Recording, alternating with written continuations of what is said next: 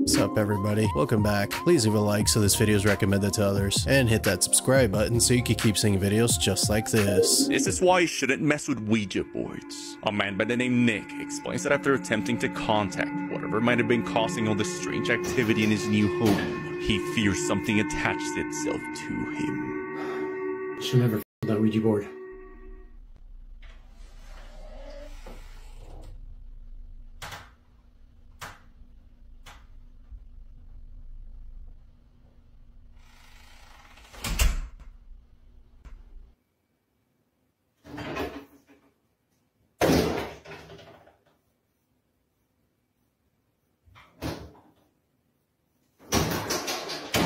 Something began opening doors in his new home.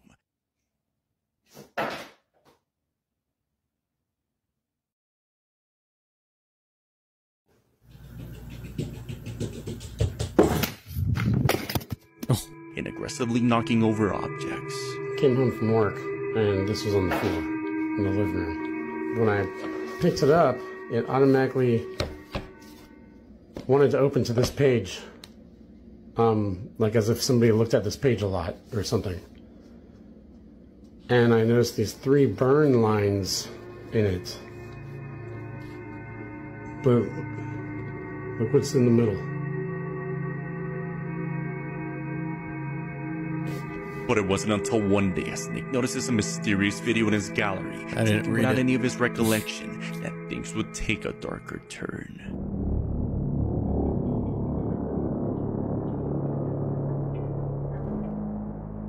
In the video, Nick can be seen standing in the dark as he's being filmed. I don't have any answers or explanations for what I'm seeing with my own eyes. It's me. But I don't remember any of that.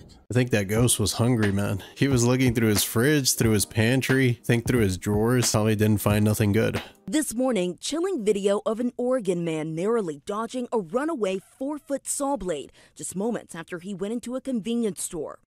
I mean, obviously it wasn't my time, but yeah, it's probably the closest I've ever experienced it. Surveillance video shared with our affiliate showing The the, laugh, saw blade dude. barreling with high speed towards this Oregon store. Oh, this then poor striking guy. just inches away from the door that Shane Rimke opened just seconds earlier. The saw blade nearly slicing through the wall. These photos showing the damage. I was walking into the store here, I put my handle on the door, and uh, I heard a loud bang and yelling over here at the corner. Just as a cloud of smoke pops up, and I see a guy fall into the ditch, and a four-foot blade hurling at me. The impact to the front of the store so strong, the owner says the entire building shook. All I heard was like a metal rolling down from the street, and I looked at the camera. It was just wind, and all of a sudden we heard a loud bang, like it shook the literally the whole store. A contractor on the scene who witnessed the incident telling our affiliate that the blade may have gotten loose from a lost bolt in addition to potential operator error. But Rimke says he's grateful to be alive following the close call. I'm thankful to be here, really. Absolutely. I mean, I was thinking maybe it's my time, but I don't think I would have survived getting touched by that thing. No. Holy crap, dude. Damn, imagine minding your own business and then you get split in half. I know it's getting old, but damn, final destination vibes right there. Yeah, this is trespassing. Yeah. See, it's not like a challenge. The gate's not there to be like, oh, try and get over it, see if you can do it. It's actually there to keep you from getting in. Oh man, nothing like getting roasted in the middle of committing a crime. That's a good crime deterrent. People are probably more afraid of being embarrassed than actually going to jail. Earthquake footage while being stuck on a bridge. Oh my god, dude.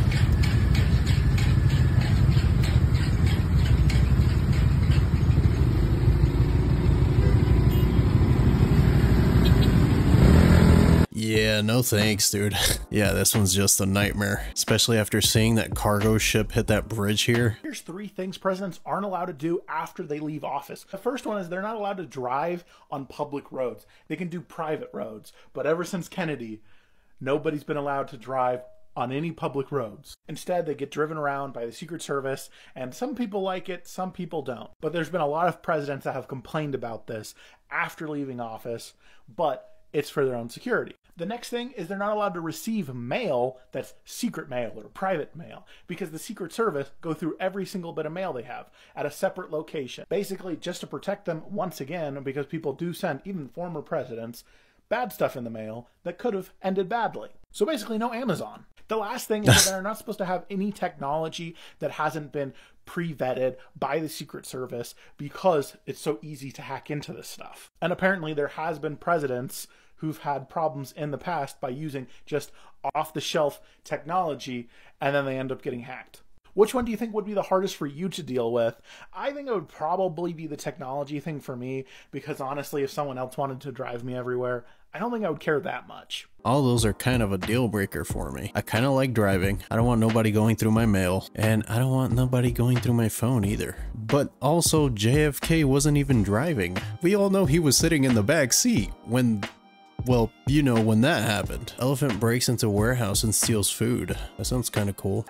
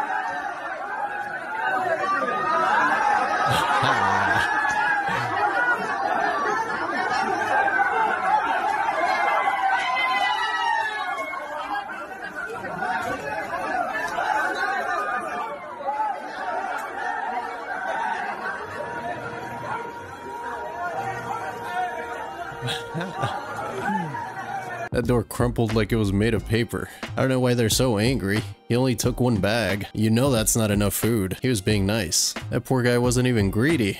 Have y'all seen this video of this guy right here yet? People say she killed him. Who has the best girlfriend ever? I do. Who just bought you all this stuff? She did. And all the stuff?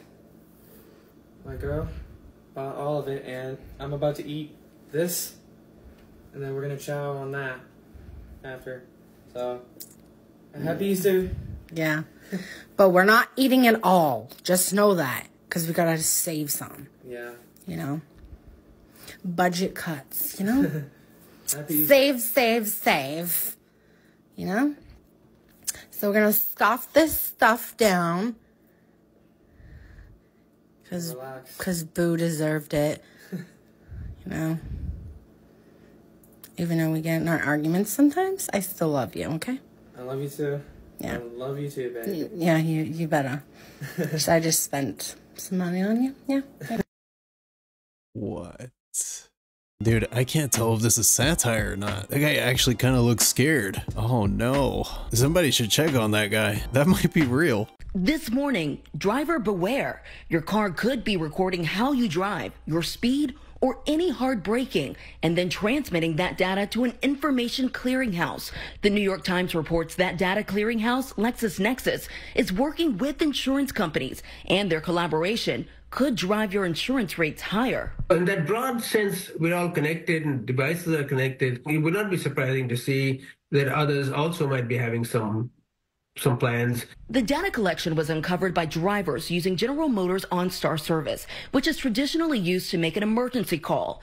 The owner of a Chevy Bolt told the Times he uncovered a 258 page report on his personal driving habits after he asked about a more Oh, than no. 20% increase in his insurance rate. His insurance company told him to check his Lexus LexisNexis file, and turns out GM's OnStar service has a smart driver feature, which tracks driver habits as a way to improve safety. GM confirmed to the Times that it shares select insights with LexisNexis and another data broker, but says the program is optional to customers and that drivers can unenroll at any time. This is the beginning of a of an era where we will continue to be connected in every possible way. Cars might seem like the last bastion of this in a cocoon-like environment. But it's one more thing that's getting connected. Nationwide, auto insurance rates are up 26% this year, rising six Yep. times faster than overall inflation. The increase is blamed on several factors, including the rising cost of car repairs. But now you can add another factor the possibility of your insurance companies tracking how you drive. How is this legal? How? There's literally no privacy anywhere. I always assumed that when I would rent a car from a rental company, it was spying on me, obviously. But now your own car. That is so ridiculous. I hate this. I hate this so much. Does your dog bite? Is that a dog?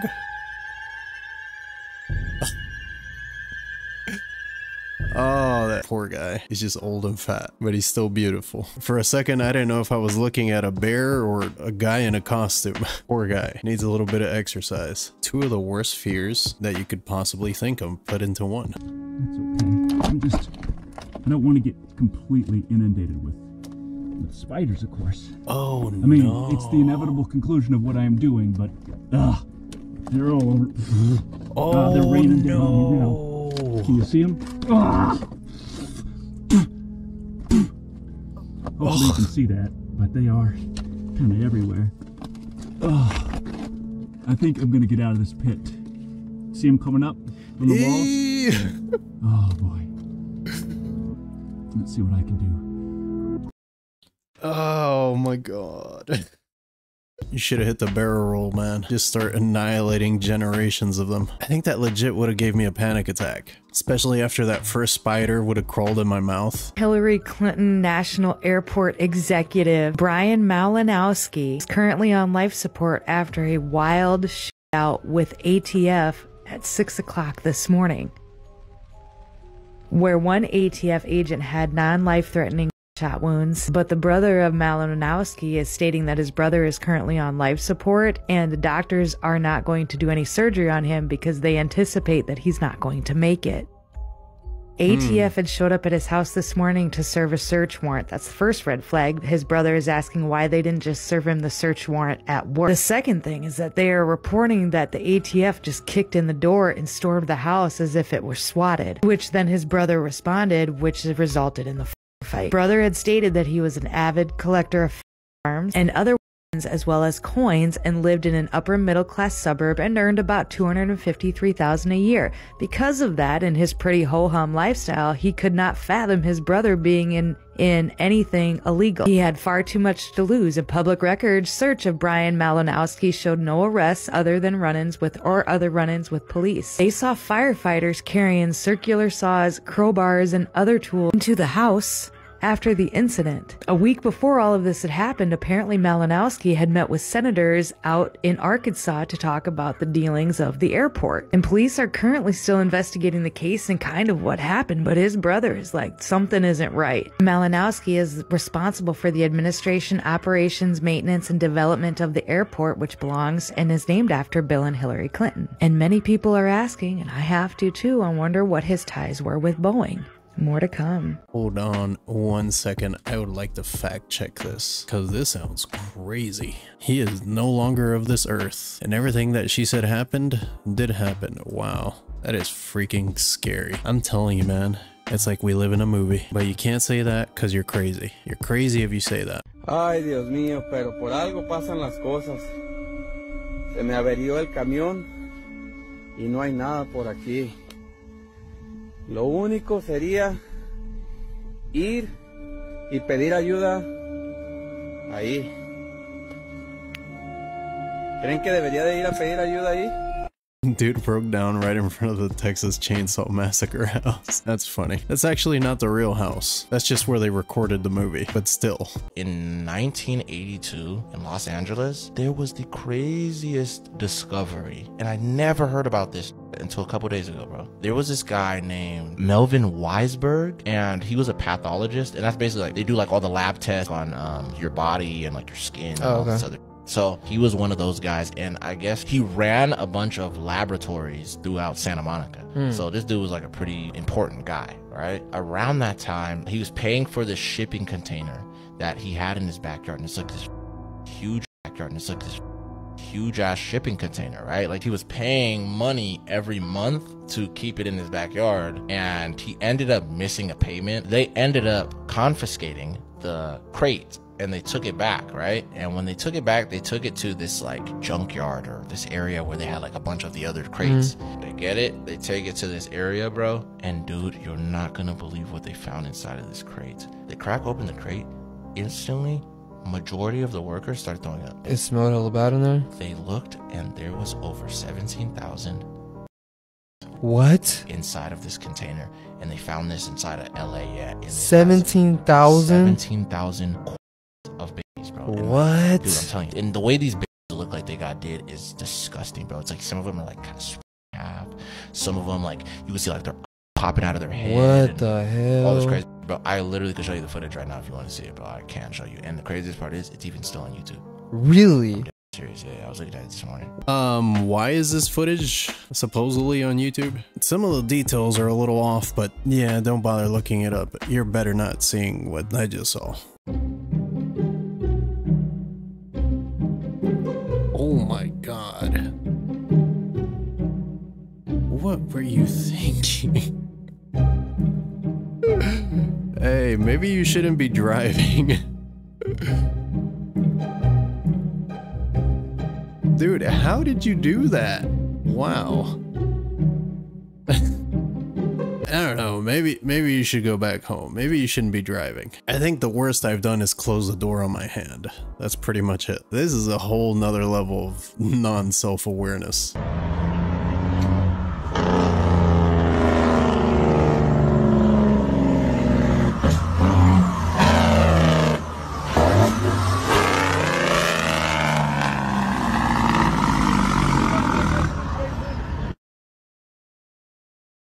Oh no, wait, what? Dude, it's so scary to think that that's the last line of defense after your brakes fail. And the worst part about that is, is like he started rolling backwards. How's he supposed to stop at that point? I don't know if you guys agree with me, but there's something really strange happening in Lana Del Rey's concert. This is the second time something like this happens. Check this out. This was recorded by Epic Paranormal. Check this out, guys. This was the strangest concert I've ever been to. There was a guy screaming constantly for Lana to kill him. And he kept requesting heart shaped box. Going on the road and The whole vibe was incredibly weird, spooky. Creepy, right? A lot of people feeling these creepy vibes in concerts lately, but here's where things get even stranger. Check this out. But as the night went on, especially the last like three songs, her demeanor changed. Lana Del Rey's demeanor changed. Hmm. And for some reason, my camera kept glitching.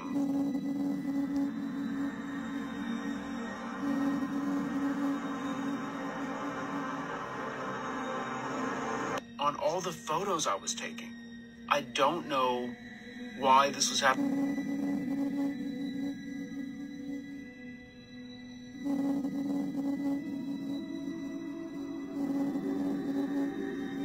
Because there was energy there. There was a there was a weird, spooky energy at that concert. I think that's just mental illness, man.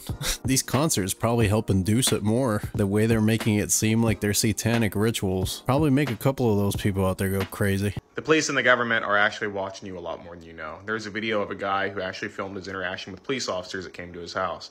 What was his offense that made them come there? Well, he was on a tour of DC and they had the pylons in front of the uh, buildings. And he went up to him and he had heard that the pylons were actually timber that was coated in concrete or something. So he goes up there and he taps it. Well, the security camera uh, caught him tapping the pillar pylon. So when the police officer shows up, he goes, Were you checking those pillars for density in case of fire? And the guy is like, I was a tourist. Note to self, never go to DC. Dang man, talk about being paranoid. They're gonna find all my terrible memes that I've saved, and I'm probably gonna go to jail. Hey, ba- bag up, bag up, bag up, bag up.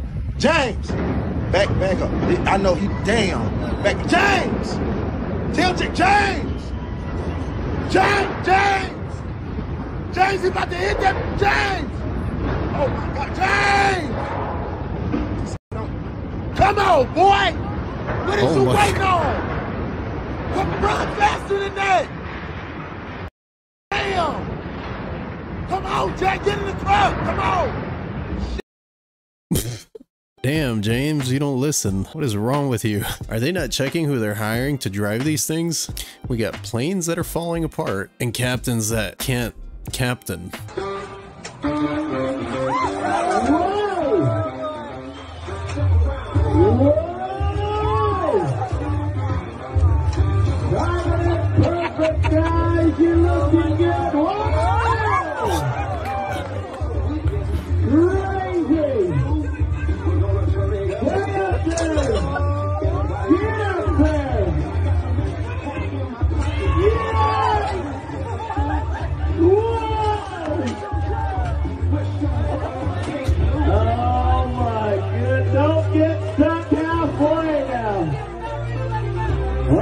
This reminds me of the Jackass movie. They had four seats on that one though. Americans do stuff like this as if they have free healthcare. It do be like that though sometimes.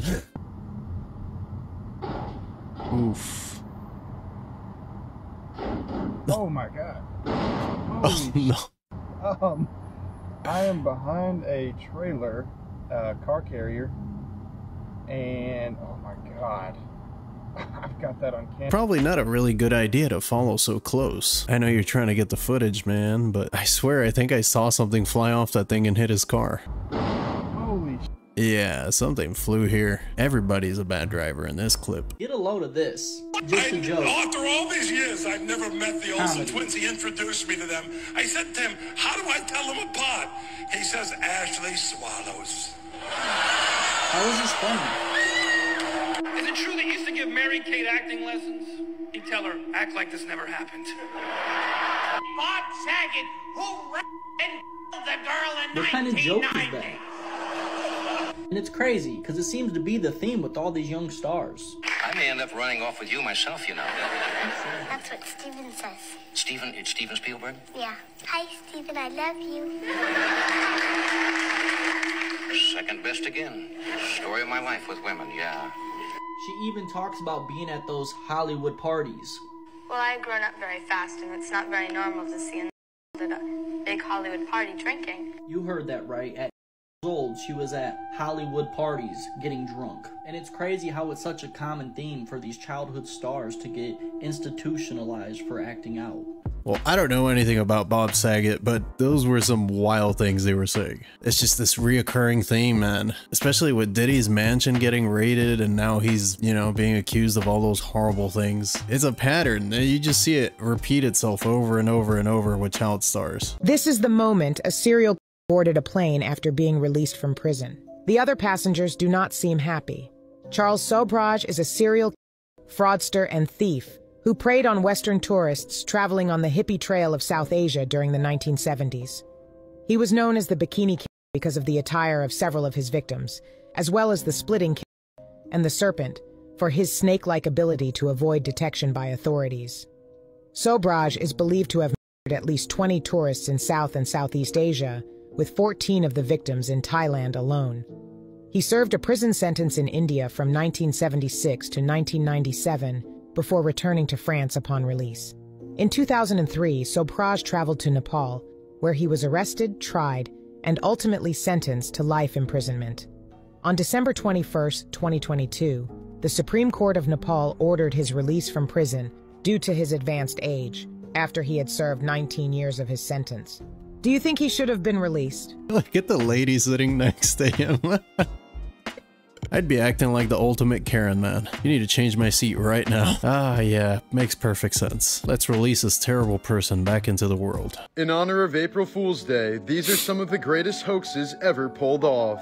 In 1948, a man named Tony Signorini stomped around a beach in Florida wearing a pair of 30 pound lead shoes. For the next 40 years, he had locals convinced that a 15 foot tall penguin was waddling around the area. In 1979, billionaire Richard Branson released a hot air balloon shaped like a UFO over the streets of London. The next morning, local police forces were mobilized and even the army was alerted.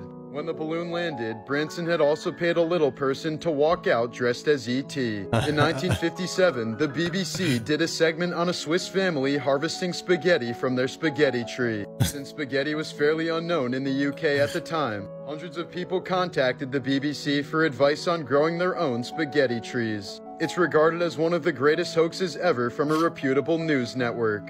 On April 1st, 1975, residents of Sitka, Alaska woke up to the nearby dormant volcano blowing out black smoke. When a Coast Guard pilot went to investigate, he found 70 burning tires and the words April Fool spray painted into the snow.